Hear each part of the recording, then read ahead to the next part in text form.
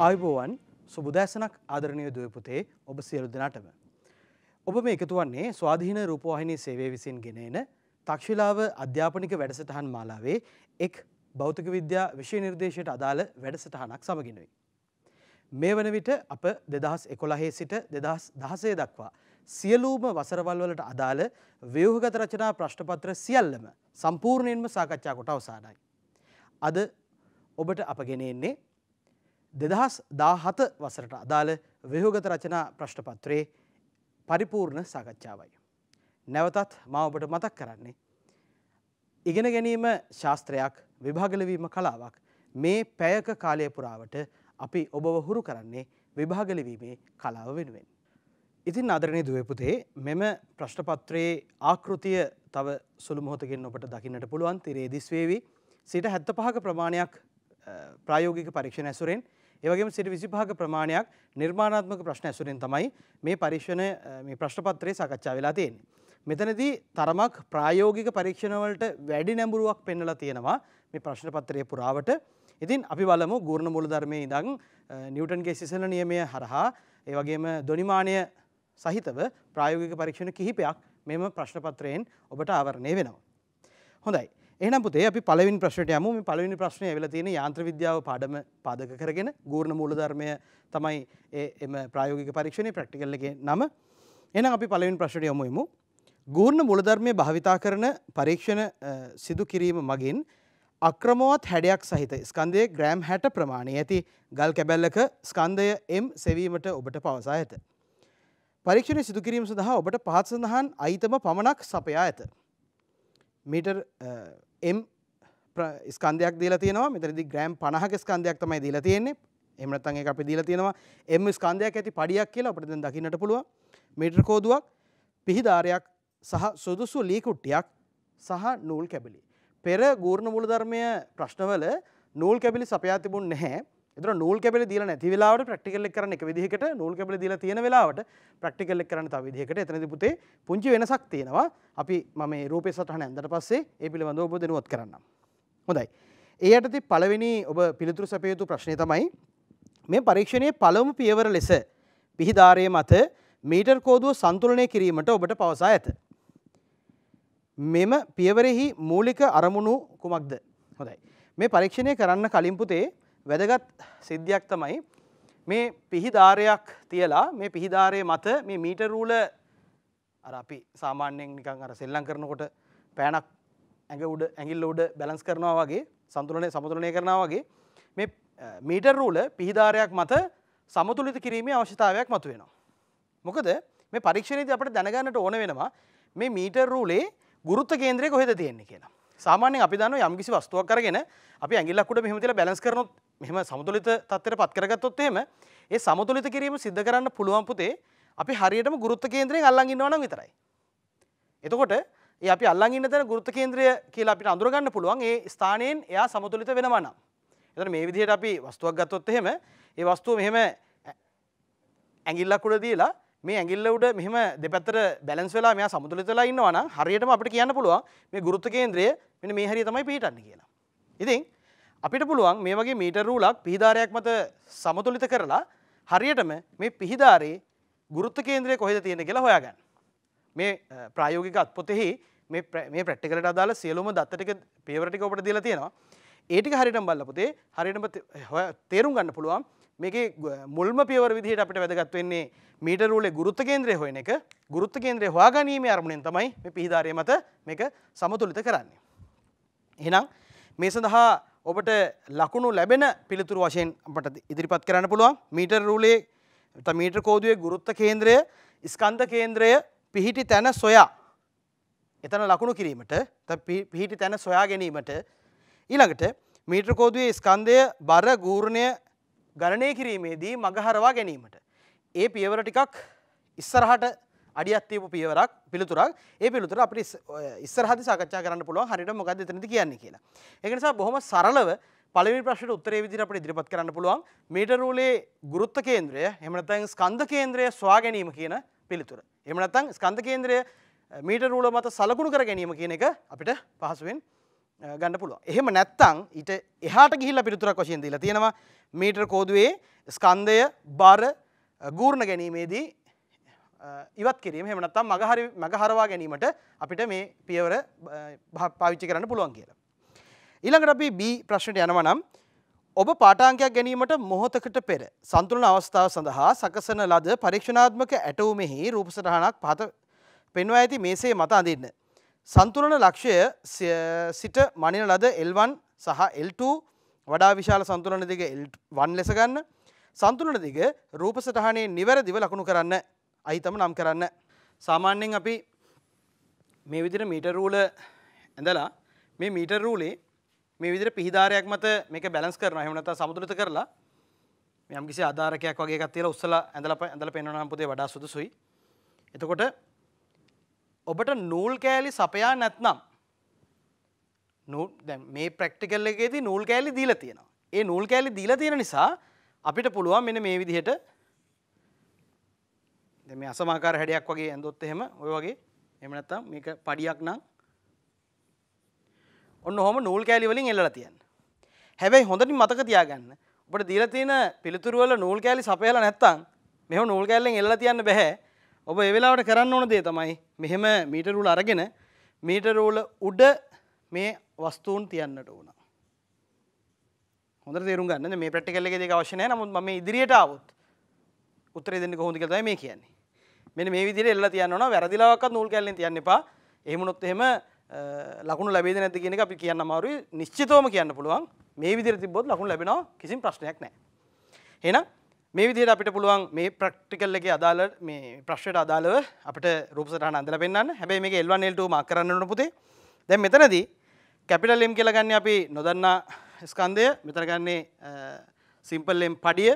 එතකොට මෙතනට අපි ගන්නවා L2 මේක L1 දැන් මේ ගානේදී අපිට දීලා තියෙනවා මේ එම් සාමාන්‍යයෙන් හැට ග්‍රෑම් හැට ආසන්නේ කියලා සිම්පල් එම් ග්‍රෑම් පණහයි කියලා.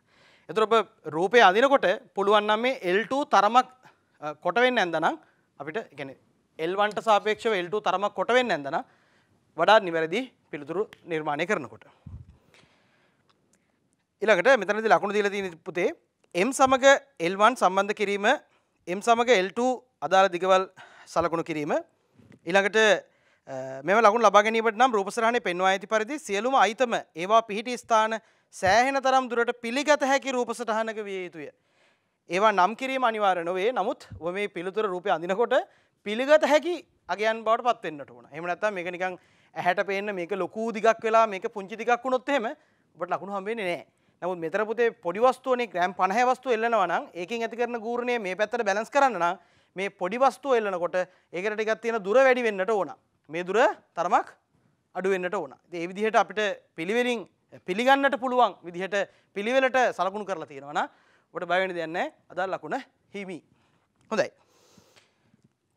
ඊළඟට C කොටසේ කියනවා පද්ධතිය සම්තුලනය වී ඇති විට L2 සඳහා ප්‍රකාශනයක් M M L1 ඇසුරෙන් ලියා දක්වන්න. දැන් මෙතනදී හොඳින් මතක තියාගන්න ඔබෙන් අහන්නේ L2ට ප්‍රකාශනයක් අහන්නේ. සමහර ළමයි කරන වැඩේ තමයි කෙලින්ම mg වැඩි කිරීම L2 සමානයි සිම්පල් mg වැඩි කිරීම L1 කියලා ලියලා ජීට ජී කපලා ඔහොම ප්‍රකාශනය තියලා තියෙනවා. හැබැයි පුතේ මෙතනදී පැහැදිලිව කියලා තියෙනවා මොකද අපෙන් අහලා තියෙන්නේ අදාළ L2ට සමයි ප්‍රකාශනය ගන්න තියෙන්නේ. එහෙනම් මෙතනින් L2 උක්ත කරලා ML1 බෙදීම කැපිටල් M කියලා මෙන්න මේ විදිහට උත්තරේ තියලා තියෙනවා නම් ඔබට ලකුණු හම්බෙනවා. හැබැයි මතක තියාගන්න මේක තිබ්බගේ ලකුණු හම්බෙන්නේ මෙන්න මේ විදිහට L2 උක්ත කරලා තියන්නටම ඕන. මෙතනදී පැහැදිලිව කියලා තියෙනවා මොකද ගාණි කියලා තියෙන සිම්පල්ෙන් භාවිතා කරන්න කියලා. ගොඩක් ළමයි මෙතන M වෙනුවට දානවා ග්‍රෑම් 50 කිලෝග්‍රෑම් කරලා දානවා. මේක පැහැදිලිව කියලා තියෙනවා ලකුණු සටහනේ M හි අගේ වෙනුවට ග්‍රෑම් 50 භාවිතා කර ඇතනම් ලකුණු නොමැත කියලා පැහැදිලිව කියලා තියෙනවා. ඒ නිසා පුතේ M දීලා තියෙන වෙලාවට අදාළ අහලා තියෙන සංකේතෙන් පිළිතුර තියන්න පුරුදු වෙන්න. D කොටස මේ පරීක්ෂණයේදී ඔබ ප්‍රස්ථාරයේ ඇඳිය යුතු යැයි සිතන්න. මේ පරීක්ෂණයේ ප්‍රස්ථාරයක් ඇඳිය යුතු යැයි සිතන්න. L1 සහ L2 සඳහා වෙනස් පාඨාංග යුගලයක් ගැනීම ගැනීමේදී සෑම විටම මීටර කෝදුවේ කුමන ස්ථානයේ ඔබ පිහිදාරයේ තබන්නේද? දැන් මෙන්න මෙතනදී තමයි අර පළවෙනි පියවරේදී මම කිව්වනේ ඉදිරියට තේරෙන කතන්දරයක් ඉදිරියේදී තේරෙන කතන්දරයක් තියෙනවා කියලා. අන්න ඒක තමයි පුතේ දැන් මේ කියලා දෙන්න හදන්නේ. අපි දැන් මේකේ හරියටම වේලසනින් මේවා ඔක්කෝම මේ තියෙන ගැජෙට්ස් ටික එල්ලන්න කලින් අපි පිහිදාරය තියලි වෙල්ලා තනිකර මිටරුල බැලස් කරගත්තනේ දෙපැත්තර බැලස් කරගත්ත ගාන්ට ඒකින් අපි කරේ මෙයාගේ ගුරුත්ත කේන්ද්‍රය හවාගත්තු එක එතරපතේ මෙයා ගුරුත්ත කේන්ද්‍රය මෙන්න මෙතන තියෙනවා කියලා දැන් අපි දන්නවා දන්න මෙන්න උතන ගුරුත්ත කේන්ද්‍රය තියෙනවා මෙතන ගුරුත්ත කේන්ද්‍රය තියෙනකොට මෙයාගේ බර තියෙන්නෙත් මෙතනින් පල්ලහැට පුතේ මෙතනින් ප්‍රතික්‍රියාව තියෙන්නෙත් ඔතන උතනින් ওই පැත්තට දැන් බලන්න මේ ගූර්ණ ලබා ගැනීමේ මේ සමීකරණය ලබා ගන්නකොට කොයිලාකොක්කත් මේ මීටරූලේ බර අපිට වැදගත් වනේ නැහැ. මේ මීටරූලේ බර ඉවත් කරලා මේ විදිහට සරලව මේ පැත් ඇති කරන ගූර්ණය මේ පැත් ඇති කරන ගූර්ණය සමානය කියලාරගෙන බොහොම සරල සමීකරණකට අපිට එන්න පුළුවන් වුණේ වෙන මොකින්වත් නෙමෙයි මෙන්න මේ ගුරුත්ත කේන්ද්‍රය පිහිධාරය තියලා මේ මීටරූලේ බර මේ ගූර්ණවලින් ඉවත් කර ගැනීම නිසා.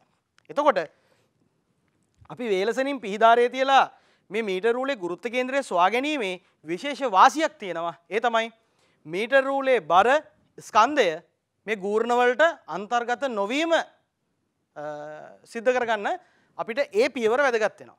ඒක නිසා ඔබ පළවෙනි ප්‍රශ්නය පිළිතුර විදිහට ගුරුත්ත කේන්ද්‍රය ස්වා ගැනීම ඇයි කියන ගැහවෝතින් එහෙම?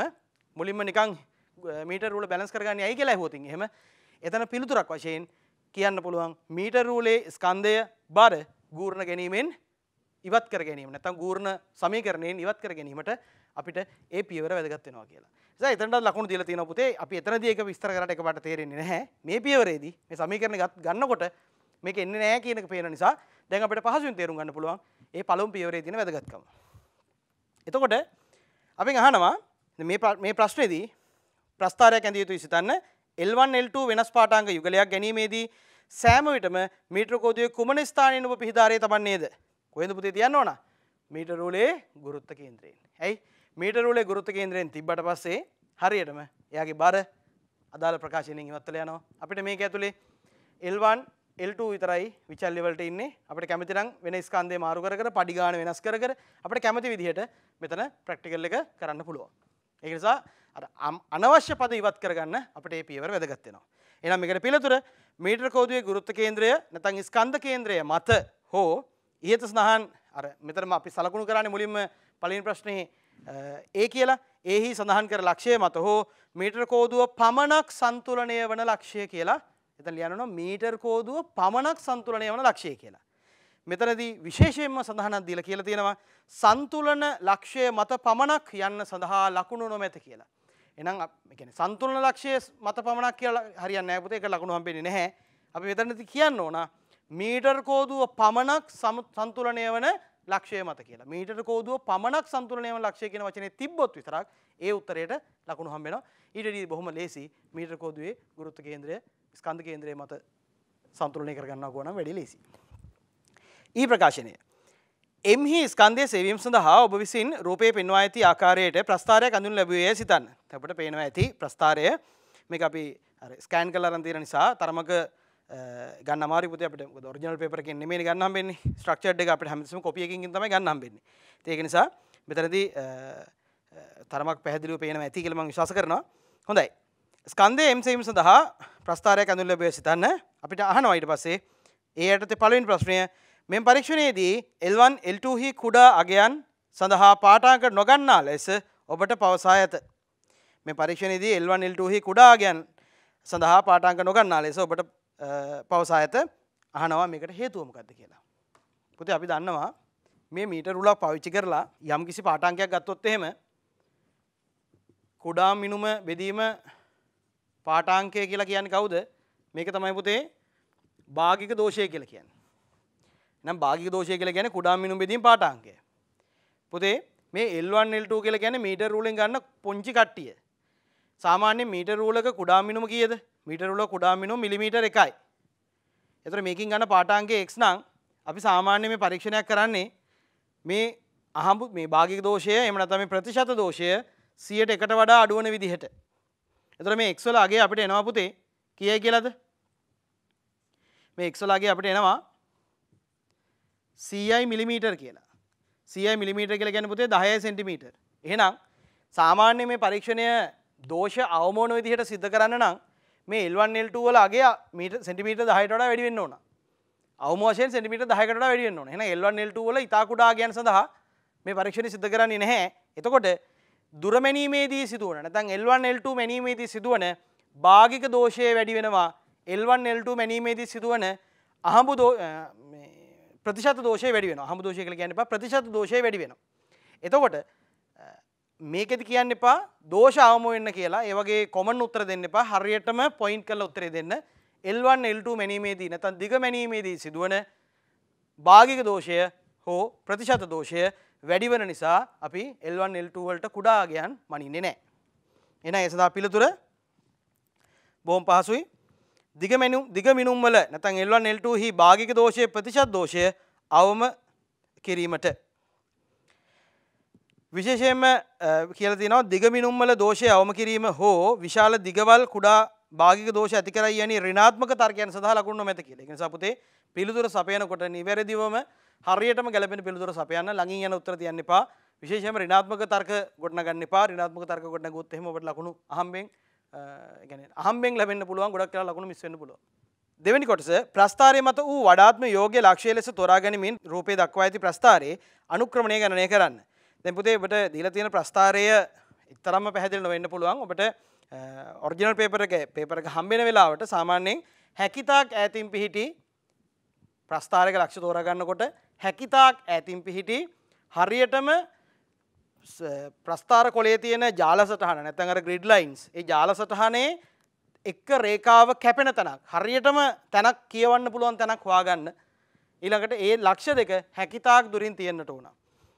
මෙන මේ විදිහට අපි ප්‍රස්ථාරය ගත්තොත් එහෙම මෙහෙම ප්‍රස්ථාරයේ ජාල සටහන් තියෙනවනි. මේ විදිහට ග්‍රිඩ් ලයින් එක තියෙනවනි. මේ ග්‍රිඩ් ලයින් එකත් එක්ක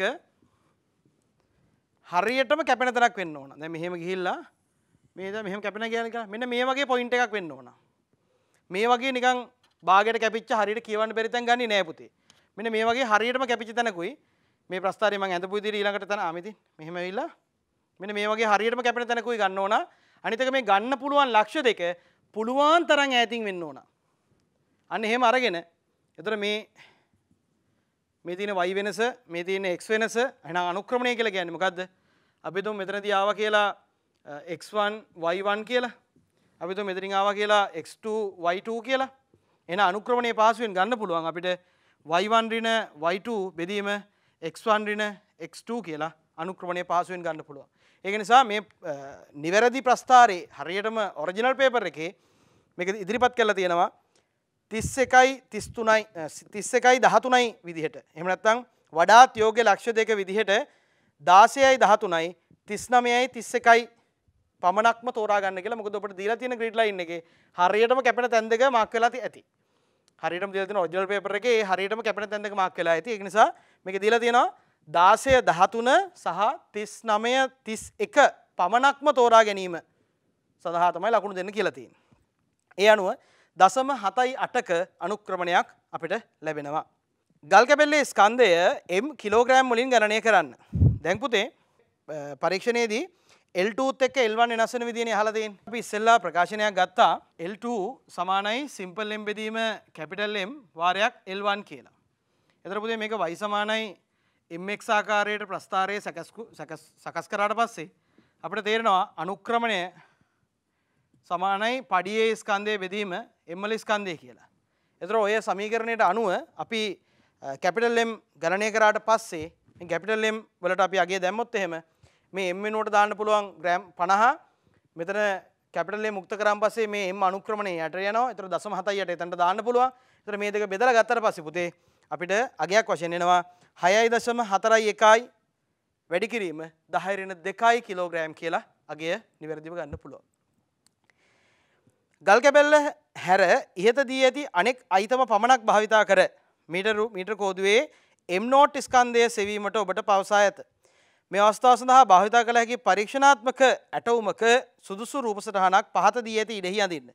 මීට කෝදය ගුරුත කේන්ද්‍රය ජී ලෙස නිවැරදිව ලකුණු කරන්න. දැන්පුතේ අපට කියනවා මේ ගල් කෑල්ල විතරයි පාවිච්චි කරන්න පුළුවන්. ඒ කියන්නේ පඩිය පාවිච්චි කරන්න බෑ.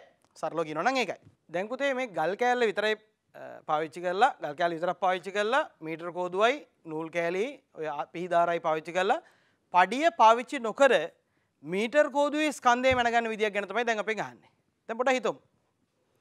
මේ ප්‍රැක්ටිකල් එක කරද්දී මම ඉස්සෙල්ලා හරියටම මෙයාව තිබ්බේ මීටර් කෝදුවේ ගුරුත්ව කේන්ද්‍රයෙන්. මම දැන් මේ පිහිදාරේ තියෙනවා ගුරුත්ව කේන්ද්‍රයෙන් පොඩ්ඩක් මේ පැත්තට වෙන්න. ගුරුත්ව කේන්ද්‍රය මේ වගේ හරියකට තියලා එතකොට මට මේ පිහිදාරේ ඇඳ ගන්නකොට මෙහෙම දික් කරලා මේ දිගට සමාන දිගක් මේ පැත්තෙන් එන විදිහට ඇඳත හැකියි. ඒ කියන්නේ මේ දිගට සමාන දිගක් මෙහෙට එන විදිහට. ඊළඟට මේ පැත්තෙන් මට පුළුවන් නූල් කෑල්ලෙන් මේ ගල් කෑල්ල එල්ලලා දාන්න. දැන් මොකද වෙන්නේ? දැන් මට පුළුවන් හරියටම මෙන්න මෙතනින් මීටර් කෝදුවේ ස්කන්ධය M නෝට් නම් M නෝට් G කියලා ප්‍රමාණයකින් බරක් ක්‍රියාත්මක වෙනවා. මෙතනින් පල්ලෙහාට කැපිටල් M G කියලා බරක් ක්‍රියාත්මක වෙනවා. මම මේ දුර ගන්නම් L2 ඩෑෂ් කියලා. දැන් ඒක අලුත් දුරක්. මේ දුර ගන්නම් L1 ඩෑෂ් කියලා. එහෙනම් මෙතනින් මට සරලව ඉදිරිපත් කරන්න පුළුවන්. මොකද්ද? කැපිටල් MG වැඩි කිරීම L2 ඩෑෂ් සමානයි L1 ඩෑෂ් වැඩි කිරීම simple M naught G. G ට G අයින් වෙලා යනවා. දැන් අපිට M නෝට් සඳහා ප්‍රකාශනයක් ගන්න පුළුවන්. ML2 ඩෑෂ් බෙදීම L1 ඩෑෂ් කියලා.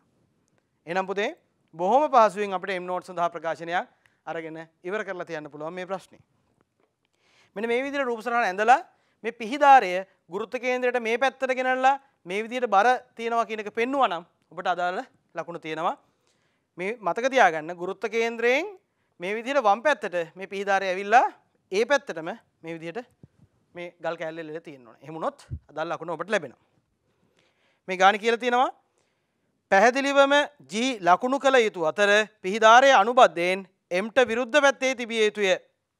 ලීකුට්ටිය ඇඳ නොමැතිවද මෙම සඳ ලකුණු දෙන්න. මේ ආධාරකයේ මේ ලීකුට්ටිය දීලා ඇඳ නැත්තත් මේක ලකුණු දෙන්න කියලා කියලා තියෙනවා. ඒක බොහොම සහනදායි ලකුණු ක්‍රමයක් එහෙම. හැමතිස්සෙම මෙහෙම හම්බෙයි කියලා හිතන්න බෑ ඉතින් මේ විදිහට මෙයා මේ පැත්තට අරන් තියන්න ඕන. හොඳයි. අපි යන දෙවෙනි ප්‍රශ්නයට යන්. මේ ප්‍රශ්නේ තියෙන්නේ නිව්ටන්ගේ සිසිල නියමය පුතේ මේ ප්‍රශ්නය පොඩ්ඩක් අපේ මේ අලුත්ම සිලබස් එකෙන් චුට්ටක් පිට එකක්. ඒ කියන්නේ ඉස්සර සිලබස් එකේ නිවටන්ගේ සිසල්ල නියම සඳහා පරීක්ෂණ දෙකක් පැවතුනා එක පරීක්ෂණයක් තමයි නිවටන්ගේ සිසල නියමේ සත්‍යාපනය කිරීම. ඊළඟට ඒ සත්‍යාපනය කරපු නිවටන්ගේ සිසල නියම ඇසුරෙන් නොදන්නා ද්‍රවයක විශිෂ්ඨාපධාරතා ස්වාගැනීම හෙමනත්තා වීතාදා දෙකක් සංසන්ධනය කිරීම වගේ ප්‍රක්ටිකල් එකට අපට ඉඩ දිල තිබ.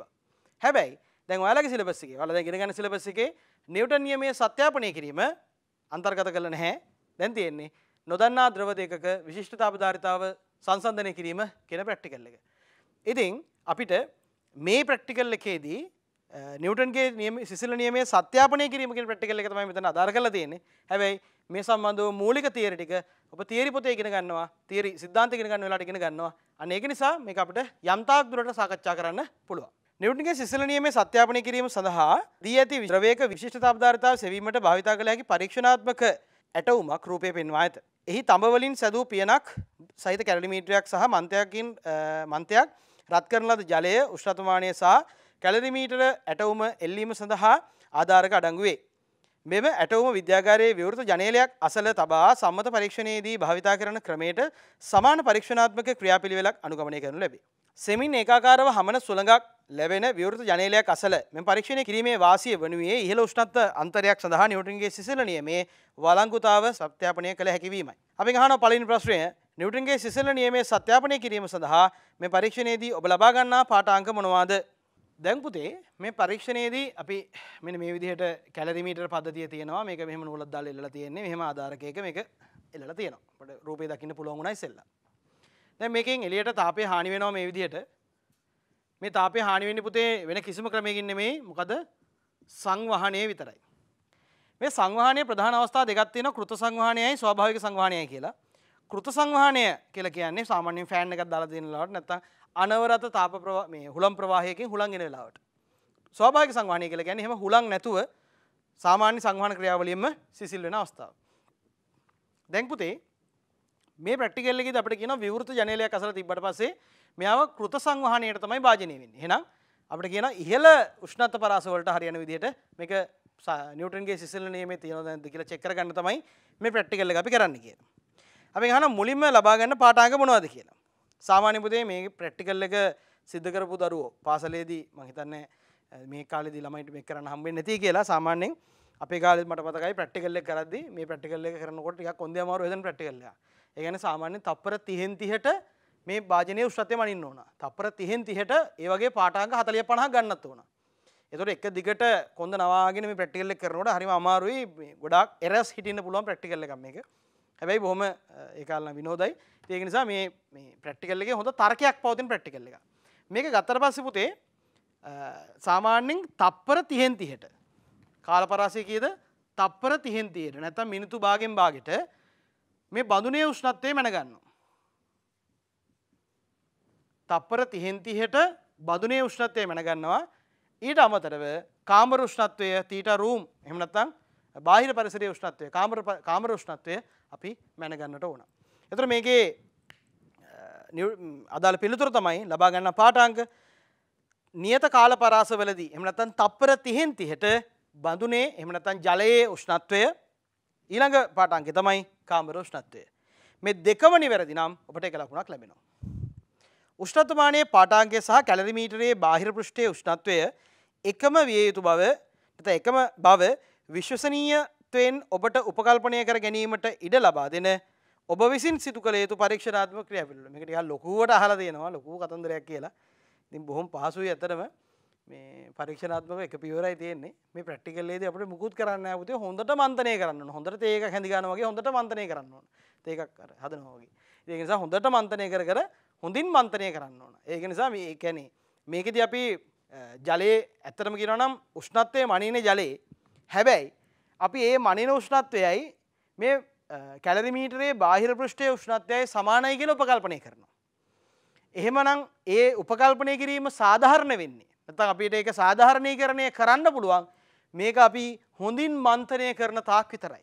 හොඳට මන්තනය කරන්න ඕන හොඳට මන්තනය කරන හොඳට වතුර කලවන් වෙලා මේ ජලයේ උෂ්ණත්වයයි කැලරිමීටර් බඳුනේ පෘෂ්ඨයේ උෂ්ණත්වයයි සමාන තත්වයට පත් වෙනවා කියලා අපිට හිතන්න පුළුවන්. ඇත්තට මෙහෙම පත් වෙනවා. නමුත් අපිට සාධාරණ අයිතියක් තියෙනවා හොඳින් මන්තනය කරාම මේ උෂ්ණත්ව සමාන වෙනවා කියලා හිතන්න පුළුවන් කියලා. ඒක නිසා ජලය මන්තනය කිරීම එහෙම නැත්නම් ජලයේ කැළතීමට ලකුණු දීලා තියෙනවා. නමුත් නිවැරදි සයින්ටිෆික් වචනය තමයි ජලය මන්තනය කිරීම. තුන්වෙනි කොටස නිවටන්ගේ සිසිල නියමේ සත්‍යාපනය කිරීම සඳහා ඔබ විසින් අඳුරු ලබන ප්‍රස්ථාර දෙකෙහි දල රූප සටහනක් ඇඳ දක්වන්න. ඒ කියන්නේ මෙතනදි පුතේ අපි තියරි පොතට සම්බන්ධව තමයි මේට කියන්නේ අපි කාලයත් එක්ක මේ බඳුනේ උෂ්ණත්වය වෙනස් වෙන විදිහේ ප්‍රස්ථාරගත කරනවා. කාලයත් එක්ක මේ බඳුනේ උෂ්ණත්වය වෙනස් වෙන විදිහේ ප්‍රස්ථාරගත කරාම ගොඩක් කලාවට දරුවෝ අඳින්නේ මෙන්න මෙහෙම ප්‍රස්ථාරයක්. එහෙම නැත්නම් මේක සරලව කර ඍජුකෝණාස්ත්‍ර ඍජුකෝණාස්ත්‍රාකාර බහුවලයක්. එහෙම අදින්න එපා. එහෙම ඔයගොල්ලන්ට පේපර් පොතක හරි බැලුවම එහෙම එකක් තියෙනවා නම් ඒ පුතේ ඒ කාලේ පරණ ඉස්සර 1999ට කලින් 94ට කලින් වගේ අවුරුදු කාලවල මේ පරිගණකවලින් මේ ඇඳීමේ ප්‍රශ්න ඇති වෙලා තියෙනවා. මේක මේ මේ ප්‍රැක්ටිකල් එකට එන ප්‍රස්ථාරයේ හැඩය සම්මත හැඩයක් නෙමෙයි. මේ ප්‍රැක්ටිකල් එකටම අනන්‍ය හැඩයක්.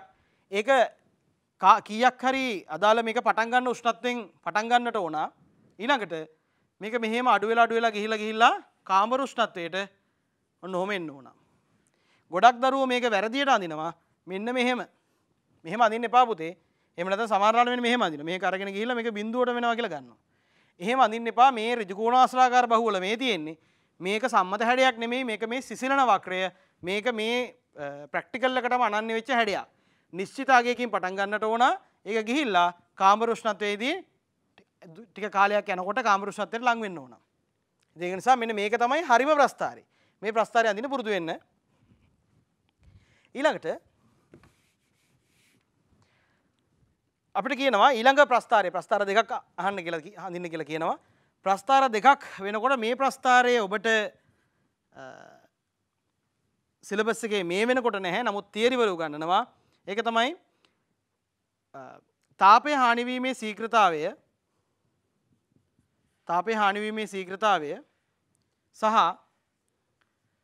සිසිලන සීක්‍රතාවය අතර ප්‍රස්ථාරය. තාපය හානීම සීක්‍රතාවයයි සිසිලන සීක්‍රතාවය අතර ප්‍රස්ථාරය. එතර පුතේ සාමාන්‍යෙන් මේ ප්‍රක්ටිකල්ලගේදී තාපය හානීම සීක්‍රතාවය සිසන සීක්‍රතාවයයි සමහර වෙලාවට මේකම අපි ඊළඟ ප්‍රස්ථාරය විදිහට යනවා මොකද මේක වෙනුවට මේක වෙනුවට අමතර උෂ්ණත්වය අපි ගන්නවා. සාමානෙන් අපි අරක ඇඳල තමයි මේකට එන්නේ. තොට අවසාන ප්‍රස්ථාරය විදිහට මෙන මේ දෙක තමයි ප්‍රක්ටිකල් එක සිද්ධ වෙන්නේ. එක හැඩය එන්නේ මෙන්න මේ විදිහට වයිසමාන එමෙක් සාකාරයට නමුත් මේ ප්‍රස්ථාරය ඔබට සිලවස්ස කියන තීරවලිගෙන ගන්නවා. එතරින් මතක් කරගන්න මේ ප්‍රස්ථාරය හැඩිය. ඊළඟ ප්‍රශ්නය විදිර අහනවා. ජලයට අදාළ පාටාංක ගැනීමෙන් පසු දෙනලද ද්‍රවයක විශිෂ්ඨතාව ධාරිතාව සෙවීම සඳහා ඉහත එහි භාවිතා කළ ක්‍රියාපිළිවෙලම නැවත සිදු කරන ලදී. මේ පරීක්ෂණය සඳහා ඒ කොටසේ භාවිතා කළ කැලරිමීටරයම භාවිතා කිරීමට හේතුව කුමක්ද? යම් කිසි ද්‍රවයකට අපි මේක ඇඳට පස්සේ ජලයට ඇඳට පස්සේ අපිට ද්‍රවයටත් ආයි මේක දානකොට මේ ප්‍රැක්ටිකල් එක කරනකොට අපිට කියනවා ඊට ඉහත භාජනයම තමයි ආයි ගත්තේ කියලා. අපි අහනවා ඉහත කොටසේ භාවිතා කළ කැලරි මීටරයම භාවිතා කිරීමට හේතුව මොකක්ද කියලා. පුතේ මේ ප්‍රක්ටිකල් එකේදී තාපය හානි වෙන්නේ මේ කැලරි මීටර පෘෂ්ඨයෙන්. අදාළ තාපය රැගෙන එන්නේ මේ ඇතුළේ ඉන්න ජලය හෝ අදාළ ද්‍රවය. ඒතර මේ අදාළ ද්‍රවයෙන් හරි ජලයෙන් හරි තාපය හානි අරගෙන තාපය හානි කරන්නේ එළියට විසික් කරලා දාන්නේ එළියට යවන්නේ මෙන්න මේ ඉන්න කැලරි මීටර් පෘෂ්ඨය. මේ කැලරි මීටර් පෘෂ්ඨයේ පෘෂ්ඨ ස්වභාවය හැමත් මේ ප්‍රක්ටිකල් අවස්ථා දෙකටම ප්‍රායෝගික අවස්ථා දෙකටම එකම අගයක් වෙන්න ඕන. ඇයි හේතුව තාපය හානිවීමේ සීග්‍රතාවය තාපය හානිවීමේ සීග්‍රතාවය අනුලෝමෝ සමානුපාතිකයි අමතර උෂ්ණත්වයට. මේක තමයි සිසිල්ල නියමය. මේක ඇතුරෙන් ඇසුරෙන් අපි ගන්න සමීකරණය තමයි කේ තීටරින තීට ආර් කියන එක. ඒ කියන පුතේ පෘෂ්ඨ වර්ගඵලය කේ කියල කියන්නේ සිසිලන නියතය. මේක අපි පෘෂ්ඨය ස්වභාවය මත උතන්ට විමෝචකතාවයත් සමහරලාට දානවා. එතොට පෘෂ්ඨ ස්වභාවය මත රඳා පවතින සාධකයක්. එනම් පරීක්ෂණ වාර දෙකටම නැත්තම් පරීක්ෂණ දෙකටම එකම පෘෂ්ඨ ස්වභාවය තාපය හානිවීම සඳහා පවතින එකම පෘෂ්ඨ ස්වභාවයක් පවත්වා ගැනීමට තමයි අපි එකම කැලරිමීට්‍රිය අවස්ථා දෙකේදී පාවිච්චි කරන්න. එහෙම නැත්නම් පරීක්ෂණ අවස්ථා දෙකේදීම සමාන පෘෂ්ඨ ස්වභාවයන් පෘෂ්ටික විමෝචකතාවයන් ලබා ගැනීම සඳහා තමයි මේකම කැලරිමීට්‍රිය භාවිතා කරන්න. දෙක එම කැලරිමීට්‍රිය භාවිතා කිරීමට අමතරව මේ පරීක්ෂණයේදී සමාන ජල හා ද්‍රව පරිමාවක් භාවිතා කිරීමට හේතුව කුමක්ද? එතකොට පුතේ දිනලද අමතර උෂ්ණත්වයකදී ජලය සහ ද්‍රවය සඳහා පරීක්ෂණ අවස්ථා දෙකෙහිදීම සමාන තාපය හානිවීමේ සීග්‍රතාවයක්. අපෙන් අහනවා එකම ජල පරිමාවකුයි එකම ද්‍රව පරිමාවකුයි දාන්නේයි කියලා. එතකොට පුතේ තාපය හානිවීමේ පෘෂ්ඨ වර්ගඵල දෙකම සමානයි කියලා අපිට ගන්න පුළුවන්. වැරදිලා හරි ද්‍රවය අඩුවෙන් දැම්මොතින් එහෙම මේ කැලරිමීටර් පෘෂ්ඨයේ උෂ්ණත්වය ඒකාකාර වෙන්නේ නැහැ මේ උඩ හරි අඩු වෙනවා. තරමක ප්‍රශ්නයකට වෙනසකට භාජනය වෙන්න උත්සාහ කරනවා. එතකොට අවස්ථා දෙකේදී තාප හානිවීමේ ශීඝ්‍රතාව දෙකක් අපිට ලැබෙන්නේ. එහෙනම් ඇයි අපි මේ ප්‍රැක්ටිකල් එකේ එකම පරිමාවක් දාන්නේ? අවස්ථා දෙකෙහිදීම එකම තාප හානිවීමේ ශීඝ්‍රතා පවත්වා ගැනීමට. මන්තය සහිත මන්තය සහ පියන සහිත කැලිමීටේ ස්කන්දය සහ විශ්තබ්ධාරිතා පිළිවෙලින් M හා S වේ. ද්‍රවී ස්කන්ද සහ විශ්තාබ්ධාරිතා පිළිවලින් ML සහ SL වේ. දී ඇති උෂ්ණත පරාසයකදී ද්‍රවය සමග කැලිමීටරේ තාපය හානිවීමේ මධ්‍යක ශීඝ්‍රතාවය හා උෂ්ණතය පහළ බැසීමේ මධ්‍යක ශීඝ්‍රතාවය. මෙහෙම වෙනවා නම් මෙම රාශිය සුරෙන් මෙම HM තීටම් අතර සම්බන්ධතාවය ලියා දක්වන්න. මේ භාජනය ගත්තම මේ භාජනයෙන් ඉවතට තාපය හානි වෙනකොට මෙයාගේ හානි වෙන තාපයට බන්ධාන කිව්සමාන MCතීට එන හානි වෙන තාපය කිව්. එම් ජලය සී ජලය තන් ලික්විඩ් එක ලික්විඩ් කියල ගමුකු. ලික්විඩ් එක සී ලික්විඩ් එක. අදාළ උෂ්ණත්ව වෙනසකට සාධාරණ උෂ්ණත්ව වෙනසකට තීට කියල ගත්තොත් එහෙම දන එම් කැලරිමීටරය සී කැලරිමීටරය ඒ උෂ්ණත වෙනසම තමයි පුතේ එකටත් තියෙන්නේ. ගත වෙච්ච කාලය මේක බෙදුවා නම් නැත්නම් සාමාන්‍යයෙන් අපි ගණිතයෙන් ගත්තොත් එහෙම මේක කාලය විශ්ලේෂණ අවකලනය කරා නම් අපිට එනවා dh/dt සමානයි. Ml මේක s කියලා අරන් තියෙන්නේ. Sl ධන mccc වාරයක් d තීට බෙදීම dl කියලා. අපිට ඔන්න ඔය විදිහට ප්‍රස්ථාරේ පහසුවෙන් ගන්න පුළුවන්. දැන් මේකෙදි අපි දීලා තියෙන සංකේත වලට අපි ගියොතින් එහෙම මේ MC SC වෙනුවට දාලා තියෙන්නේ M සහ S කියලා. මෙතන ML SL එහෙමම තියෙනවා. ඊළඟට DH/dt වෙනුවට ගානේ පාවිච්චි කරලා තියෙනවා කවුද පුතේ? HM සමානයි ගානේ කෙලිම කියලා දෙනවා. මේ හවලා තමයි මේ තියෙන්නේ කියලා. ඊළඟට M S ධන ML SL වාරයක් තීටම් කියලා අපිට අපිට පුළුවන් ඔන්න ඔය ප්‍රකාශනය මේ ප්‍රකාශනය වෙන මෙහෙම අරගෙන ඉවර කළ තියන් මේ තියන මුල් සමීකරණය පටන් අරන් ඔප්පු කරන් කියල මෙතට අපපු විදිහ එ අපිට පුළුවන් මෙන මේ විදිහට මේ සමීකරණය ඇසුරෙන් අදාළ ගණනය කිරීමට ස්රහටයන් ඉට ඉළඟට අපට මේ ප්‍රක්ටිකල් එකට අදාළ දත්තටික දීලා මේ සමීකරණට අදාළ දත්තටික දීලා අපට කියනවා SL හොයාගන්න කියලා. මේ එච්චෙම්මලාගේ අනුවයිලු මේ එම්මලාගේ බිඳදශම එකයි පහයිලු. මේ එස්සලාගේ හාරසීයයි. එම් එල්වලාගේ බිඳදශම දෙකයි පහයි කියලා දිල තින ගානේ. ඉළඟට එස්සල් අපිට ගන්න පුළුවන් ද්‍රවේ විශේෂතාවධාරිතාව කියලා වාරයක් සිසිලන සීකෘතාවේ දිල තිනවා බිඳදශම එකයි දෙකයි පහයි කියලා. මේ ප්‍රක්ටිකල් එකෙන් මේ සමීකරණය අරගෙන මේ සමීකරණය යුක්ත කරලා එස්සෙල්ව අපිට සරලව සුළු කරන්න පුළුවන් මේක සරල සමීකරණය දෙදස් හාරසීය සොරි දෙදස් හයසීය හතලියයි ජූල් කිලෝග්‍රෑමයට කෙල්විනයට කියලා නිවැරදිව ඒක ඇත්ත එක තියෙනවනම් ඔබට මේ සඳහා ලකුණු දෙකක් හිමි වෙනවා. හොඳයි. එනම් පුතේ අපි යමු මේකේ තුන්වෙනි ප්‍රශ්නෙට. තුන්වෙනි ප්‍රශ්නය අන්තර්ගත වෙලා තියෙන ධ්වනිමානය කොටසෙන්. දැන් අපිට කියනවා මෙහෙම ධ්වනිමානයක සම්පූර්ණ විස්තර දීලා අපිට දැන් බලන්න පුළුවන් මේ ප්‍රශ්නය. මේ විදිහට දීපු ධ්වනිමානයක අපිට කියනවා පරීක්ෂණය සිදු කිරීමේදී සරසුලක් කම්පනය කිරීම නිසා අවට වාතය ඇතිවන්නේ කුමන ආකාරයක කම්පනද ඔබට දැන් දකින්න පුළුවන් ප්‍රශ්නයේ විස්තරය දැන් ඔබට දකින්නට පුළුවන් පළවෙනි ප්‍රශ්නය කුමන ආකාරයේ කම්පනයක්ද කියලා අහනවා. හොඳින් මතක තියාගන්න. ධ්වනිමානයේ තන්තුවල පවතින්නේ. එහෙම නැත්නම් ධ්වනිමානයේ කම්බිවල පවතින්නේ ස්ථාවර තරංග රටාවක්, තීර්යයක් තරංග වලින් නිර්මාණය වන ස්ථාවර තරංග රටාවක්. ඒ ස්ථාවර තරංග රටාවෙන් නිපද වෙන ධ්වනිය අපේ කනට එන්නේ අන්වායාම තරංගයක් විදිහට. එහෙනම් අන්වායාම ප්‍රගමන තරංගයක් නැත්නම් අන්වායාම කම්පනයක් විදිහට අපි හඳුනා ගන්නට ඕන. අපෙන් අහන්නේ මොකද්ද? අවටවාතයේ ඇතිවන්නේ කුමන ආකාරයේ කම්පනයද? නැත්නම් තන්තුව මතද පෙට්ටිය මතද කියලා අහන්නේ නෙමෙයි අහන්නේ අවට වාතයේ ඇති වෙන්නේ මොනවද කියලා අහන්නේ. අවට වාතයේ ඇති වෙන පුතේ පැහැදිලිවම අන්වායාම ප්‍රගමන තරංගයක්.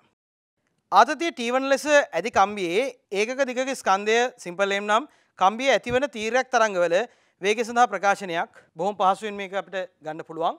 අපි දන්නවා v සමානයි t බෙදීම m වල මූලය t කියලා කියන්නේ ආතතිය M කියලා කියන්නේ ඒකක දිගක ස්කන්ධය ඊළඟට V කියලා කියන්නේ අදාළ තීරක තරංග ප්‍රවේගය. මේ පරීක්ෂණයේදී දෙන ලද සරසුලක් සමග මූලික ස්වරයෙන් අනුනාද වන කම්බියේ අනුනාද දිග මැනීමට ඔබට නියමිත වෙද ඇත.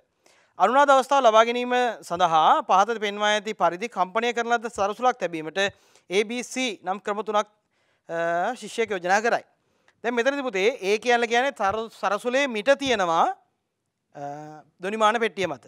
B කියලා කියන්නේ සරසුලේ ටිකක් නිර්මාණ පෙටියට උඩින් වාතය තියලා තියෙනවා. ඊළඟට C එකේදී කම්බිය අවට අසල තියලා තියෙනවා. අපෙන් අහනවා අනුනාදය සඳහා උපරිම විස්ථාරයක් ලබා ගැනීමට නම් කම්පනය කරන ලද සරසුල තැබීමට ඔබ ඉහත ක්‍රමවලින් කුමන ක්‍රමේ දහන තෝරගන්නේ. පොතේ හොඳට මතක තියාගන්න මෙතනදී සරසුල කම්පනය වෙන්නත් ඕන. සරසුල කම්පනය කරහම සරසුල කම්පනය වෙන්නත් ඕන. ඒක කම්පනය වුණාට පස්සේ ඒක කම්පනය වෙමින් පවතින අතරතුරේ එයාගේ තියෙන ශක්තිය දොනිමානයට සම්ප්‍රේෂණය වෙන්නත් ඕන. අපි සරසුලේ දැති තියලා තිබ්බොතින් එහෙම කොහෙර තැනකට වදින්න සරසුල කම්පනය වෙන්නේ නැහැ. එහෙනම් ඒ ක්‍රමේ හරියන්නේ නැහැ. එහෙනම් C ක්‍රමේ ඉවරයි. ඊළඟට වාතයෙන් දෙයක් සම්ප්‍රේෂණය වෙනවට වඩා වස්තුන් ස්පර්ශ කරලා තියෙනකොට ඝනද්‍රව්‍ය හරහා සිදුවන සම්ප්‍රේෂණයේ කාර්යක්ෂමයි. එහෙනම් ඒ අනුව ගත්තට පස්සේ මේකට සුදුසුම ක්‍රමය තමයි. සුදුසුම ක්‍රමය තමයි මොකද්ද? සරසුලේ මිට සරසුල කම්පනය කරලිවරලා සරසුලේ මිට දොනිමාන පෙට්ටිය මත තියෙන එක. එනම් බොහොම පහසුයි පිළිතුරමගදද ඒ හේතුව තමයි ශක්ති සම්ප්‍රේෂණය කාර්යක්ෂමව සිදුකර ගැනීමට. ඊළඟට ඩීකොට සහල තියෙනවා අනුනාද අවස්ථාව පරීක්ෂණාත්මකව අනාවරණය කර ගැනීමට මේ පරීක්ෂණයේදී ඔබ සාමාන්‍යයෙන් භාවිතා කරන අනෙක් අයිතමය කුමක්ද? මේක නිකන් අනෙක් අයිතමය මොකක්ද කියලා අහුවට පස්සේ පොඩ්ඩක් පැටලි සාගත තත්යකට පත් වෙන්න පුළුවන්. පොතේ අනෙක් අයිතමය කියලා කියන්නේ මේ මේකට ඇත්තම කඩදාසි ආරෝගයක් තමයි අපි ගන්නෙ. පොඩි පොඩි කොළ කෑල්ලක්. චූටි කොළ කෑල්ලක් අරගෙන ඒක අමරලා පොඩි නිකන් අර කොක්කක් හැඩයට නවලා දොනිමාන කම්බිය උඩ තියලා තියෙනවා. සරලෝ ගත්තොත් මෙහම දොනිමාන කම්බිය තියෙනවා නම් පොඩි කොල කැල්ලක් කරගෙන නවල නොහම දොනිමාන කම්බියෝට තියලා තියෙනවා. ඔය දිර තියෙන කඩදාසි කැල්ලටම අයිතම කියල මේකති කියලා තියෙන එකසම ප්‍රශ්න හන විදිර පොට කලබල නවා එම කලබලෙන්න්න පා බොහොම පහසුයි මෙතින පිළිතුරු. එනම් කඩදාසි ආරෝහක. කඩදාසි ආරෝහක. ප්‍රශස්තම අනුනාද අවස්ථාව අනාවරණය කර ගැනීමට ඔබ අනුගමනය කරන ප්‍රධාන පරීක්ෂණාත්මක පියවර මොනවාද? එමකක්ද මේ? අපට ගෙන හරියටම ප්‍රශස්තම කියලා ගැන්නේ අර ඔප්ටිමම් කියන එක හොඳම කියන එක. එතුර ප්‍රශස්තම අනුවාද අවස්ථාව අල්ලගන්න මොකද කරන්නේ? අපි කඩදාසි ආරෝකය අදාළ AB සේතු දෙක මැද තියෙනවා. AB කියන මේක දෙකලවර ඒ මැද තියෙනවා. ඊළඟට කම්පනය කරන ලද සරසුලෙහි කඳ දොනිමානය පෘෂ්ටය මත තියෙනවා. අර පිස්සල කිව්වාගේ මේ දොනිමාන පෙට්ටිය හොම තියෙනවනම් සරසුල අරගෙන මිට ඔන්න හොම තියෙන මේ හොඳ කම්පනය වෙන මේ කම්පනය වේ නොම තියෙනවා. ඊළඟට කඩදාසි ආරෝකය ෂණිකවම එකවර වැඩිම උසකට පනිනතුරු බී සේතුව සීරුමාරු කිරීම. දැම්පුතේ මේක තියෙන්නේ මෙන මෙහෙම මෙන මෙහම සේතු දෙක තියලා තියෙන්නේ. මේක ඒ සේතුව බීසේතුව වෙනම තියෙන මේ සේතුව අචලයි. මේක හොල්ලන්න බෑ. මේක අපිට එහෙටමට ගෙනල්ලා මේක දිග වෙනස් කරන්න පුළුව අපි සාමාන්‍යයෙන් මේ දොනිමාන පෙට්ටිය මෙහෙම තියෙනවනම් අදාළ සරසුල පුතේ මෙන්න මෙහෙම තමයි තියන්නේ. හරියටම නිකන් අපිට මැදට වෙන්න වගේ. අන්න ඔහොම මැදට වෙන්න වගේ තමයි තියන්නේ. එතකොට තමයි හොඳටම මේ සම්ප්‍රේෂණය සිද්ධ වෙලා මේ පතන තරංග පරාවර්තන තරංග ඔක්කොම අධිස්ථාපනය වෙලා මේක හොඳ ස්ථාවර තරංගයන් නිර්මාණය වෙන්නේ. ඊට සත් මොකද කරන්නේ? මෙහෙම තියල ඉවර වෙලා මෙන මේ සේතුව ක්‍රමේ නෑතරගෙන යනකොට අපිට පහසුවෙන් මේ අනුනාදය අඳුරගන්නට පුළුවන්. එනම් පළවෙනි පියවර කඩදාසි ආරෝකය AB කම්බිය මැද තබන්න කම්පනය කරලද සරසුලෙහි කඳ දොනිමානයේ පෘෂ්ඨය මත තබන්න. ඊළඟට කඩදාසි ආරෝකය. ෂණිකවම එකවර වැඩිම උසකට පනිනතුරු බී සේතුව සීරුමාරු කරන්න. ඔන විදිහට නිවැරදිව ඉතාම සංක්ෂිප්තව හරියට මවශුත්‍රය තමයි දැම මේ පට ඉදිරිපත් කරේ. ඒටික ලියන්න පුළුවන්න්න අපිට මේ දොනිමානය සම්බන්ධව මේ ලකුණුටික නිවැරදිව හරිට අඩුවන් නැතුව ලබාගන්න පුළුව ඔය පියවර තුනට මේ ලකුණක් ඔබට හිමියෙන.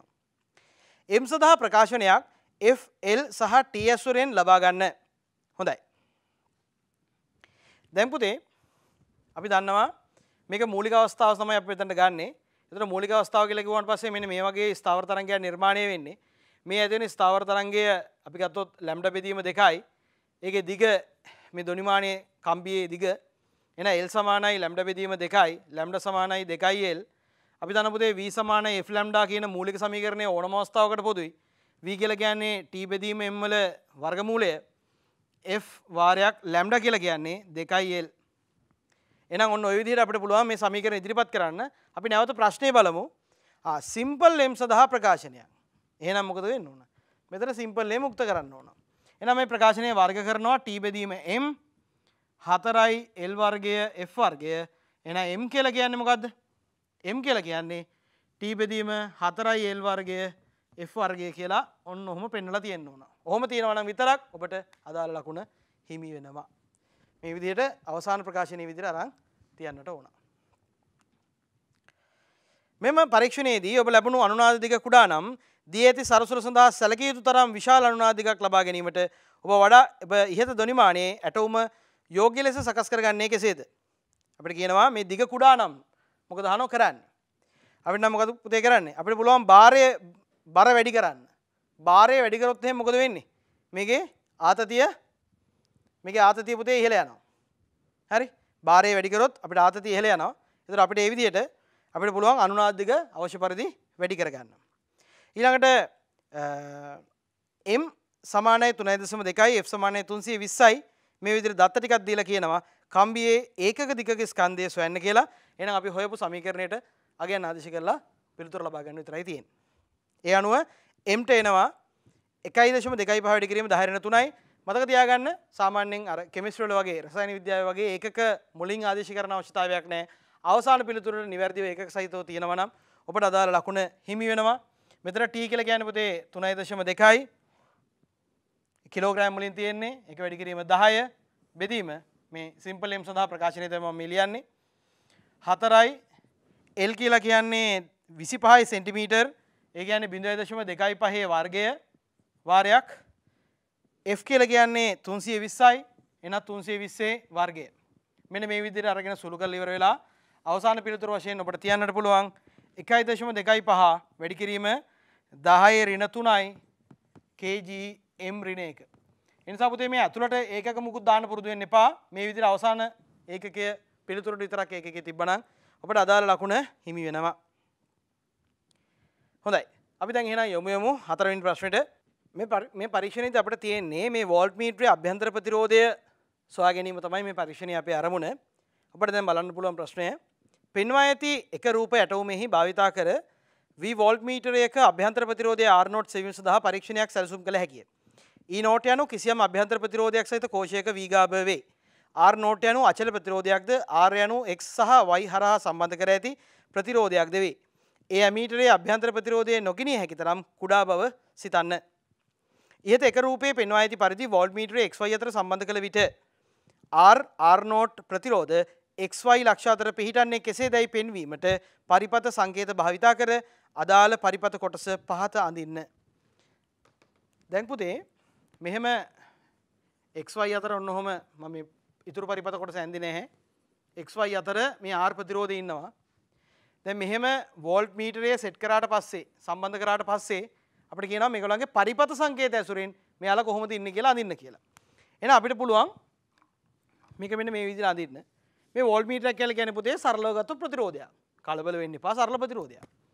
එහෙනම් මේකට මෙන්න මේ විදිහට R නෝට් එකක් සම්බන්ධ වුණා වාගේ වෝල්ට් මීටරය මෙන්න මෙහෙම එළියෙන් ඔන්න ඔය විදිහට ඉන්නවා මේ වෝල්ට් මීටරේ තියෙන අභ්‍යන්තර ප්‍රතිරෝධය අපිට පුළුවන් ඒකෙන් එළියට දාලා මේ බාහිර ප්‍රතිරෝධයත් එක්ක සමාන්තරගත වන විදිහට සෙට් කරලා තියන්න.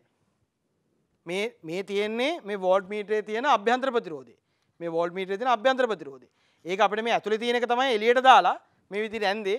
දැන් ඒතර මෙයාගේ ඇතුලේ පුතේ ධාරාවක් ගමන් කරන්නේ නැහැ. මෙන් මෙහෙන් එන ධාරාව මෙහෙන් කොටසක් යනවා. ඉතුරු කොටස මෙහෙන් යනවා. එතන මේ වෝල්ඩ් මීටරය හරහා කිසිදු ධාරාවක් ගමන් කරන්නේ නැහැ. එතන නොයි විදිහට අපිට පුළුවන් පරිපත සටහන ওই විදිහට සකස් කරලා ඉදිරිපත් කරන්න. XY අතර සමග ප්‍රතිරෝධය RXY සඳහා ප්‍රකාශනයක් R නෝට් සහ R ඇසුරෙන් ලියා දක්වන්න. දැන් මේක සමාන්තරගතයි. එහෙනම් අපිට කියන්න පුළුවන් RXY සමානයි මේ සමාන්තරගත ප්‍රතිරෝධ දෙකක්නේ. එහෙනම් R R naught simple R naught බෙදීම R ධන R නෝට් කියලා පහසුවෙන් ඔක තියන්නට පුළුවන්. කිසි කරදරයක් නැහැ ඔන්න ඔය විදිහට. එහෙම නැත්නම් මේක අපිට සරලව ගන්න පුළුවන් එකයට R XY සමානයි එකයට R නෝට් ධන එකයට R කියලා ගන්නත් පුළුවන්. මේ ප්‍රකාශනය සුළු කළ තම මේ ප්‍රකාශනය අපට අපි ගන්නේ. මේක මම රිජෝම ලිව්වා. ට කැමතිර මේ විදිර ප්‍රකාශනය තියන්නත් පුළුවන්. අපෙන් අහන්නේ අදාළ ප්‍රකාශනය ආරාරනෝට ඇසුරෙන් ලියදක්වන්න නිතරයි එනම් මේ ප්‍රකාශනය සුළු කල් අරන් තියෙනවන ඔබට කිසි කරන්න කිසිම කරදරයක් නැතුව ලකුණු ලබාගන්නට පුළුවන්. වෝල්මීට්‍රේ දැන් ආරක්යි ප්‍රතිරෝධය හර සම්බන්ධ කර ඇති ලෙස පෙනේ. මෙම තත්ව යටතේදී වෝල්මීට්‍රිය පාටාංකය ආරක්ෂය හරා සම්බන්ධ කරන ලද පරිපූර්ණ වෝල්ඩ් මීටරයක් මගින් දක්වන අගේට සමානද ඔවු නැත ඔබ පිළිතුර සාධාරණය කරණය කරන්න. පුදේ ඔවු මේක පරිපූර්ණ වෝල් මීටරයක් ලෙස අපට සකසන් සලකන්න පුළුවන් හේතුව මෙහෙන් එන ධාරාව දැන් මේ වෝල්ට් මීටරය හරහා යන්නේ වෝල්ට් මීටරය තිබිච්ච අභ්‍යන්තර ප්‍රතිරෝධය එළියට දැම්මට පස්සේ මෙහෙම ඇවිල්ලා ඔය විදිහට යනවා. එතකොට මේ එන ධාරාව වෝල්ට් මීටරය හරහා ගමන් කරන්නේ නැති නිසා අපිට හිතන්න පුළුවන් මේ වෝල්ට් මීටරයේ ප්‍රතිරෝධය අනන්තයයි මේ වෝල්ට් මීටරය පරිපූර්ණ වෝල්ට් මීටරයක් ලෙස හැසිරෙනවා කියලා. මේ සම්බන්ධව දීර්ඝ විස්තර කිරීම ඔබේ සිද්ධාන්ත පොතේ බලන්න තිේරි පොතේ මේ සම්බන්ධව දීර්ඝ විස්තර කිරීම කරලා ඇති ගුරුවරුන් විසින් මොකද පුතේ මෙතන මේක විස්තර කරන්න ගියොත් කාලය මදි වෙනවා සාමාන්‍යයෙන් අපි වෝල්ට් මීටරයේ අභ්‍යන්තර ප්‍රතිරෝධය එළියට දාලා ඇඳගත්තට පස්සේ මේ වෝල්ට් මීටරයේ පරිපූර්ණ ලෙස අපිට සලකන්න පුළුවන් ඒ හරහා ධාරාවක් යන්නේ නැති නිසා. එහෙනම් මොකද වෙන්නේ? ඔව් කිසි ප්‍රශ්නයක් නැහැ. හැබැයි ඔව් කිව්වට මේකේ ලකුණු නැහැ. ලකුණු ලැබෙන්න නම් මෙම තත්ත්ව යටතේදී වෝල්ට් මීටරයේ පාඨාංකයක් පෙන්눔 කළද? එය හරහා ධාරාව ශූන්‍ය වේ කියලා කියනවනම් අදාළ ලකුණ හිමි වෙනවා. දැන් අපිට කියනවා වෝල්ට් මීටරයේ පාඨාංකය විද ඇමීටරය හරහා ධාරාව අයිද නම් අයි සඳහා ප්‍රකාශනයක් V R නෝට් සහ R ඇසුරෙන් ලියා දක්වන්න කියලා. දැන් පුතේ ඇමීටරයේ පාඨාංකය කියලා කියන්නේ මෙන්න මේ මෙහෙනේ ඇමීටරේ තියෙන්නේ. ඒ කියන්නේ මේ හරහා යන එක්කෙනා තමයි මේ I කියලා කියන්නේ. වෝල්ට් මීටරයේ පාඨාංකය V ලු. එහෙනම් මම මෙතනට දාන බොහොම සරලව v සමානයි ir. එහෙනම් v සමානයි i වාරයක් ආර්නෝට් බෙදීම ආර් ධන ආර්නෝට් ඔන්න හොම ප්‍රකාශනය ගොඩ්න ගන්න පුළුවන් අපිට දෙ අපෙන් අහන්නේ මොකක්ද අපි මෙතර දියහන්නේ අයි සඳහා ප්‍රකාශනයක් ලියන්න කියලායි අහන්නේ. එනම් අයිව උක්ත කරා නම්පුතේ අපට ගන්න පුළුවන් අයි කියල ගැන කවුද? වී ආර්ධන ආර්නෝට් බෙදීම ආර්නෝට් කියලා මේ ප්‍රකාශනය ඔන්න ඔය විදියට තියන්න පුළුව මෙන්න මේ ප්‍රකාශනය ලියනවට ඔබට අදාළ ලකුණ හිමි වෙනවා. වයියක්ෂය අයිබෙදීම වී සහ එක්ෂය එකට ආරතර ප්‍රස්ථාරයක් ඇඳීම සඳහා සීහි ප්‍රකාශනය නැවත සකසන්න. දැන් මෙතන ඔබට පේනවා මම මේ තියනර කලින් අපි ගත්තු අයි සඳහගතු ප්‍රකාශති මේ ගානි පැහැදිලිව කියනවා අයිබෙදීම වී වයියක්ෂයට ගන්නලු. අයිබෙදීම වී වයියක්ෂයට ගන්නලු. ඊළඟට එකයට ආර් එකයට ආර් ගන්නලු එක් අක්ෂයට. එනම් මෙතන අයිබෙදීම වීමක් හදාගත්තොත් එහෙම අයිබෙදීම වී කියල ගැන කවුද? මෙතරින් අතර පසපුතේ ආර් බෙදීම ආර් නෝට් එනවා. මෙතරින් එනවා ආර්නෝට් බෙදීම ආර්නෝට් එන ආර්ට ආර් කැපිලයන මෙතන ආර්නෝට් ආර්නෝට් කැපිලයනවා එනම් අයිබෙදීම වී සමානයි. එකයට ආර්නෝට් ධන එකයට ආර් දැන් අපිට එක් වයියක්ෂ හරි එක්ෂට ගන්න ගැන එකට ආර් එනම් අයිබෙදීම වී සමානයි. එකයට ආර් ධන එකට ආර්නෝට් කියලා මේක හදාගන්න පුළුව එනම් මේක වයි සමානයි.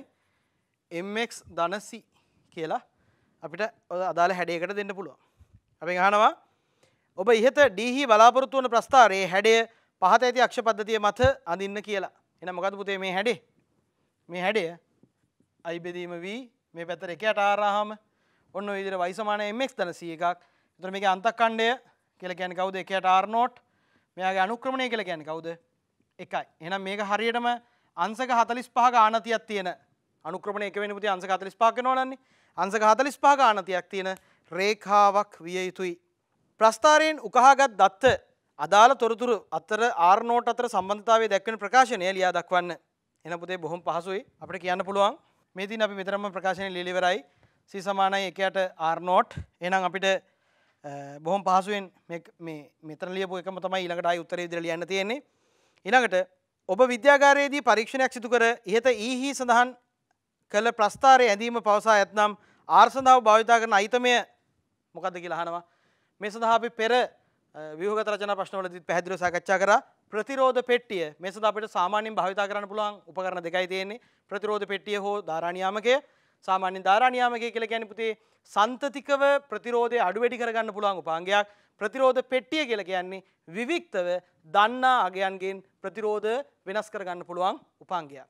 මේ සඳහා අපි එකට ආර් එහෙම නැත්නම් එකට ආර් වෙනස් කරන නිසා ආර් දැනගන්නට ඕන ආර් වෙනස් කරන්න කීයද කියලා එහෙනම් මේකට ප්‍රතිරෝධ පෙට්ටිය මිසක් ධාරානියාමකයේ සුදුසු වෙන්නේ නැහැ. එහෙනම් නිවැරදිව මේකට හරියටම හරියන උත්තරේ ප්‍රතිරෝධ පෙට්ටිය පමණයි. ධාරානියාමකයට ලකුණු නොමැත. ඊළඟට අවසාන ප්‍රශ්නය ආර්නෝට් ප්‍රතිරෝධය දැන් එක රූපේ පරිපතයෙන් ඉවත් කර ඇතැයි සිතන්න ආර්නෝට් දාහයි ඕම් ලෙසස් උපකල්පනය කරන්න. පහත සඳහන් කළ වෝල්ටියතාව විශාලත්වය සලකන්න. වෝල්ට මීට්‍රය කියවීම වීවන්යයි කියමු. වෝල්ට මීට්‍රය පරිපතය නිවත් කළ විට එක්වයි අරහා ඇතිවන වෝල්ටියතාවේ V2 යයි කියමු. අභ්‍යන්ත්‍ර ප්‍රතිරෝධය දහයයි මෙගවෝම්මන සංඛ්‍යාංක බහුමීටරයක්. දැන් එක්වයි අරා සම්බන්ධ කළොත් බෞමීට්‍රය පාටාංකය V3 යයි සිතමු. එනම් අපෙන් අහනවා මෙම අදාළ අගයන් ආරෝහණ ආකාරයට සිටින සේ සකසන්න කියලා. එනම් පුදේ බොහොම පහසුයි. මුල්ලෙක් තම වෝල් මීට්‍රේ කියවීම. ඉලගෙන වෝල් මීටේ පරිපත නිවත් කළ පසු එක්වා හර ඇතිවන වෝල්ටියතාවය අභ්‍යන්ත්‍ර ප්‍රතිරෝධය මෙගවම් දහයක් වන මල්ටිමීටරයක් පවිච්චි කරන එක. ඊළඟට ඊනෝට් e කියල කියන පුතේ කෝෂයගේ එනම් බොහොම පහසුයි. අපට මේක ආරෝහණ පිළිවට සකසන්න පුළුවන්. මේක වීවන් තමයි පුතේ අඩුමෙක් කෙන වෝල් මීටේ තියෙන කොටමයි මෙතන අඩුමගේ කියවන්නේ. වීවන් ඒකට වඩා විශාල වෙනවා ආයි V3 කියල කියන්නේ ගොඩක්ම නිවැරදියක් කෙනෙක් තොට V3 V3 එනවා. ඉටස V2 කියල කියන්න කවුද? V2 කියල කියන්නේ වෝල්ට මීටේ පරිපද නිවත් කල විට එක්සා අර ඇතිවන වෝල්ටි තාව එක තමයි හරිමගේ එතොට V2 මේ ඔක්කෝට වැඩිය පුතේ මේකට සම්බන්ධ කරලා තියෙන උඩ තියෙන බැටරියගේ වැඩි. බැටරියේ විදුත් ගාමක බලය කොහොමත් වැඩි. මොකද අභ්‍යන්තර ප්‍රතිරෝධය තියෙනකොට යාගේ පොඩි ප්‍රමාණයක් අඩු වෙලා තමයි එළියට එන්නේ. එහෙනම් E නෝට් වලගේ V2 වලට වඩා වැඩි ඊළඟට V2 කියන එක කෙනා සංඛ්‍යාංක බහුමීටරයක් පෙන්වනවට වඩා වැඩි. මොකද බහුමීටරයේත් මෙගා ඕම් 10ක මෙගා ඕම් 10ක අභ්‍යන්තර ප්‍රතිරෝධයක් තියෙනකොට පුංචි හෝ අඩුවීමක් තියෙනවා. V1 කියලා කියන්නේ 1000යි ඕම් ප්‍රතිරෝධයක් පවතින වෝල්ට් මීටරයෙන් පෙන්වනාගේ එහෙනම් මේකට වැඩිය මේක නිවැරදි මේකට වඩා මේක නිවැරදි. මේකටත් වැඩිය E නෝට් වලාගේ විශාලයි මේ තුනම පුතේ රේඩිං කියවීම් හරිද මේ තුනම අපි ගන්න අගයන් විභවන්තරය එක්වයි අතර විභවන්තරය සඳහා ගන්න අගයන් E නෝට් කියලා කියන්නේ අර කෝෂයෙන් අපිට සපයන කෝෂයෙන් අපිට සපයන විදුත් ගාමක බලය.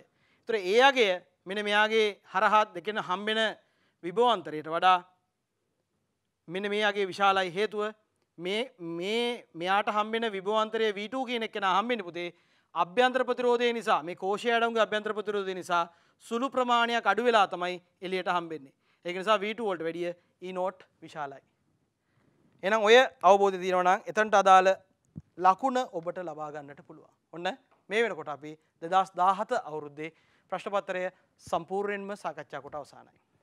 අර දෙවන ප්‍රශ්නයේදී අදරනී දුවපුතේ සිසිලන සීග්‍රතාවයයි අමතර ෘෂ්ණත්වය කියලා දෙවිනි ප්‍රශ්නයේදී සිසිලන නියම ප්‍රශ්නයේදී ප්‍රස්ථාරය විදිහට සිසිලන සීග්‍රතාවයයි. සිසිලන සීග්‍රතාවේ සහ අමතර ෘෂ්ණත්වය කියලා අක්ෂ සහිත වයිසමාන එමක් සාකාරය ප්‍රස්ථාරය භවිතා කරන්න හොඳයි. පුඩි මතක් කිරීමක් කරන්නේ. ඒක නිසා ඔන්න මේ වෙනකොට අපි සියලුම ප්‍රශ්න සාකච්ඡා කළ ඉවරයි. දෙදස් දාහත වර්ෂයේ වියහගත රචනා ප්‍රශ්න පත්‍රයට අදාළ ඉතින් අදරනී දුවේ පුතේ අද සම්පූර්ණයෙන්ම වියහගත රචනා ප්‍රශ්න පත්‍රයක් සාකච්ඡා කොට අවසන් කරා දෙදස් දාහත වර්ෂයේ. ඉතින් ඔබට මේ සම්බන්ධව සියලුම ප්‍රශ්න පත්‍ර භාගත කර ගැනීම සිදු කරන්නට පුළුවන්. www.itn.lk තක්ෂිලාව වෙබ් ලිපිනයට ගිහිල්ලා. ඒ වගේම මෙතෙක් පැවති සියලුම විෂයන් වලට අදාළ සියලුම විෂයන් වලට අදාළ වීඩියෝස් ඔබට නරඹන්නට පුළුවන් ITN ශ්‍රී ලංකා YouTube චැනලයෙන්. ඉතින් නැවතත් මෙවැනිම වැඩසටහනකින් ඔබව හමුවන බලාපොරොත්තුවෙන් අදට අපි සමුගන්නවා ඔබට සුබ දවසක්.